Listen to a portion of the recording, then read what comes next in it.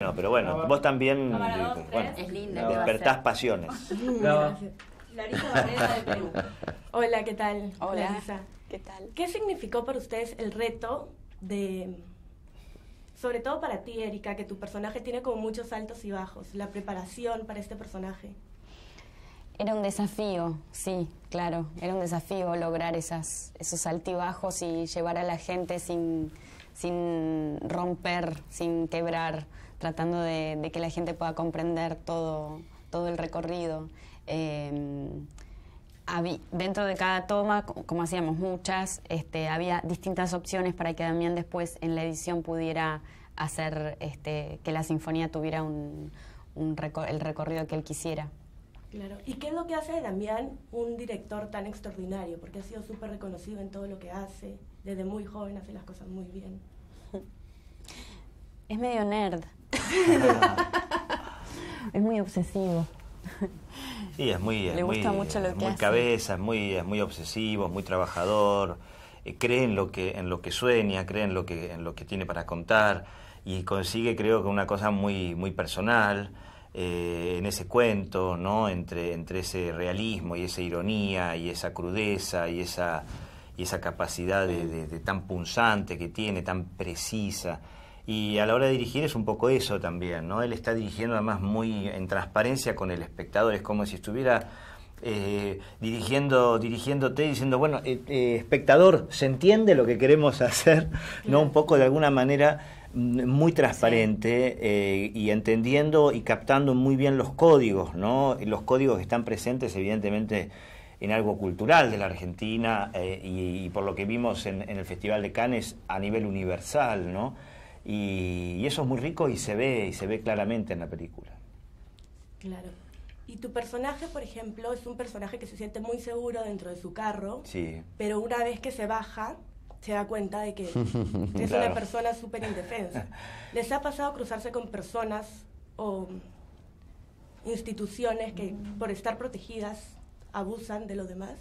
Yo creo que en general, me parece que en ese sentido a mí este cuento me hace pensar en, en la cantidad de barrabasadas que ocurren en la, en la- en- no en la ruta, sino en los coches, en el tránsito, en, sobre todo en este país. Parece que se conduce de una manera muy, eh, muy atroz y muy despersonaliz y muy deshumanizante, ¿no? La gente eh, no tiene ningún respeto, o sea, parece que se meten adentro de sus cabinas eh, y hay y, y es- y son capaces de conducir como, como armas, ¿no? Eso, eso es muy fuerte. Eh, y sin embargo, claro, eh, pareciera que atrás de esos vidrios polarizados o de esos grandes instrumentos, aunque sean pequeños instrumentos, no estoy hablando ni siquiera de autos chicos, autos grandes, ¿no? Eh, ni siquiera clase, casi de, de- ni, de, ni de clases sociales, ¿no? Me parece que es meterse adentro de un coche, eh, eh, simular, el, o sea, esconder el gesto y, y que eso a veces nos da como cierta impunidad de hacer Claro. lo que quisiéramos, ¿no? Como cierta impunidad moral frente al otro. Y esto me parece que se puede traducir en, metafóricamente en muchos asuntos, ¿no? Sí, sí, está bien en ese sentido. Bueno, muchas gracias ¿ah? Por las preguntas. ¿Dijo algo Oscar no? No. No, que, que diga algo Oscar, ¿no? No, bueno, no importa. ¿Y ¿Tú sí. qué me puedes contar de tu experiencia en Cannes o trabajando con Damián? Bueno, con Damián voy a decir lo que ya dicen todos.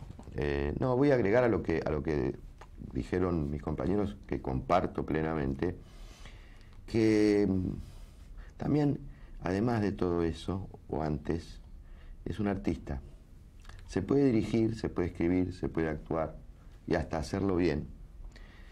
Un artista es otra cosa. Y yo creo que Damián tiene la intuición poderosa de un artista. Y por eso es que siendo tan joven tiene una sabiduría, eh, eh, digamos, que, no condice con su, ni con su experiencia existencial ni profesional.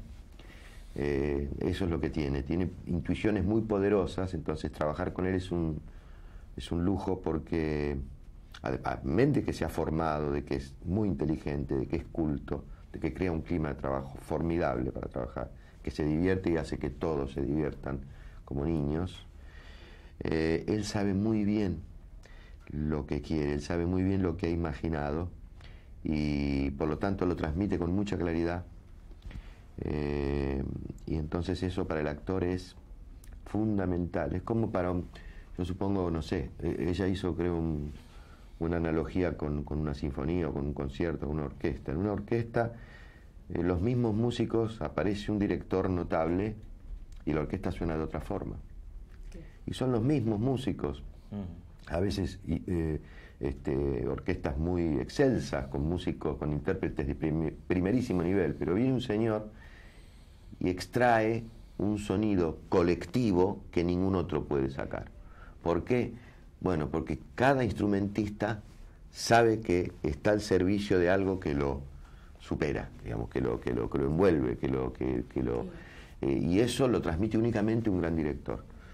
Eh, eso lo tiene Damián trabajando eh, con los actores. Perfecto, muchas gracias. Gracias. por favor, a vos. Nunca había entrevistado antes.